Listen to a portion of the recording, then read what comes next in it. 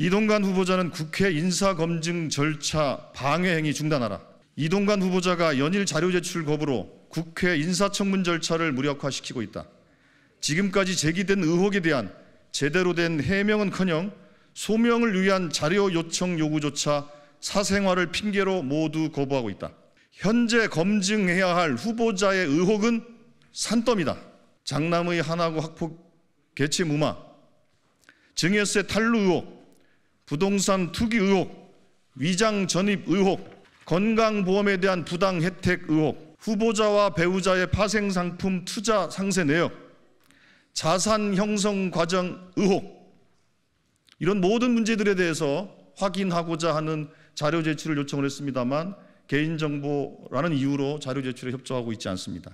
특히 후보자가 윤석열 대통령 인수위 고문 활동 및 대외 협력 특보직을 맡은 것은 현행법상 방통위 원장 결격 사유에 해당할 공산이 크다. 따라서 당시에 구체적으로 어떤 활동을 했는지 철저하게 검증해야 한다. 그러나 공직자로서 활동했던 회의 참석 내역, 발언 기록 등 모든 것이 비공개다. 이 밖에도 확인해야 될 의혹들이 너무나 많다.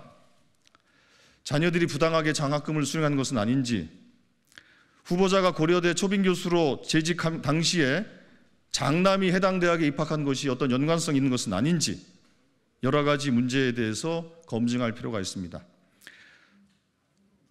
다시 한번 이동관 후보에게 경고한다. 국회 인사청문회를 요식행위로 전락시키고 그저 하루만 때우고 말겠다는 심산으로 일관한다면 더 큰 국민적 저항에 부딪히게 될 것이다. 후보자는 조국 전 장관을 향해 자식은 부모의 거울이라고 일갈했다. 본인은 어떤 거울을 가졌는지 방통위원장 후보로서 떳떳하게 국민들 앞에서 검증받으라. 사생활 보호가 그토록 중요하다면 공직에 오를 욕심을 당장 내려놔라. 방통위와 다른 기관들에게도 한 번 더 경고한다. 개인정보보호위원회는 국회가 개인정보 제공 동의 없이도 자료를 제출받을 수 있다고 분명하게 유권 해석을 한 바 있다.